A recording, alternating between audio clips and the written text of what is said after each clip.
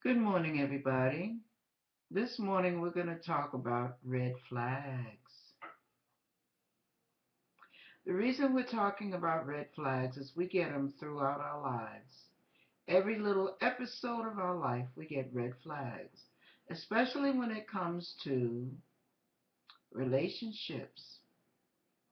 Men, you get red flags about the ladies you're choosing. Ladies, you get red flags about the men you're allowing yourself to be involved with. Isn't that something? And a lot of times we ignore the red flags. That's the danger part. Because we see what we want, like children. We see a piece of candy and we must have it. It doesn't mean we need the candy. It doesn't mean that the candy is going to give us any nutritional value but we want it because it's sweet or it appears to be sweet.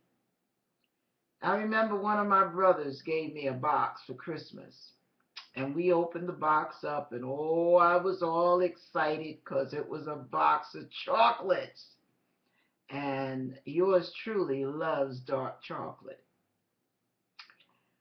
I picked up one of the chocolates. I got ready to chow down on that baby and it was as hard as a rock. And I looked at it and they all fell out laughing. My brothers had pulled a prank on me. It was all fake candy. It looked like the real deal. It looked like it had to be sweet. It looked like dark chocolate. It looked like I could just sink my teeth into it and enjoy the succulence. But guess what? They were made of some type of clay. Very, very well made. Very well disguised. Anybody could have been fooled by that box of chocolates. And that's the way we are in relationships. She looks like the right kind of lady. I mean, after all, if I'm a man and I want a woman that I can trust to raise my children and have my children and come home to and enjoy my life with, well, why not? She looks right.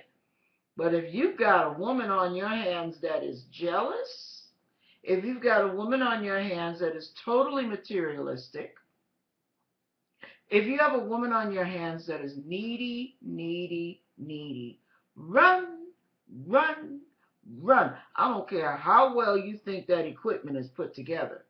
Run, baby, run. Please do yourself a favor.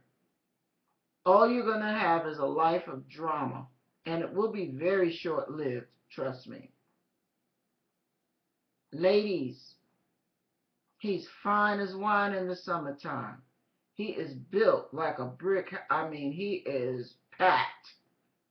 Shoulders are thick and arms are muscle toned and Oh my goodness, what you could do with all that. Right? But every time you socialize with your family members or your friends or relatives, that they're looking at you like, you know, all of a sudden you notice they have this cold attitude. They have this cold stare. They're not into it like you are. You're into it when you get with their people, but they're not into it when you get with yours. What's wrong? Think about it. You get outside in a social setting, whether it's church or at a club or wherever you are, and you laugh, you're laughing and joking with some people, and he snatches you and storms out of the club, and you have a big, uh, overblown fight over nothing, because he thinks some guy is flirting with you or you're flirting with somebody. Trust me, girlfriend, you're going to have a relationship of black eyes and broken bones. You don't need that. Anytime you have, um, in any relationship, male or female, you have a person on your arms, I don't care how good looking they are, and I don't care if you have previewed the goodies and decided that they're great in bed too. It does not mean that they are good marriage material. It does not mean that they are worth shedding your love on. You will probably end up with a broken life and a broken heart because you cannot satisfy an insecure, jealous person. You cannot satisfy or gratify an insecure, needy person. It will not happen. Only God can handle those issues. That's a job for Superman, not you, male or female. It's it's you don't have the capacity, you don't have the power to fill those kind of needs. I don't care how wonderful you think you may be.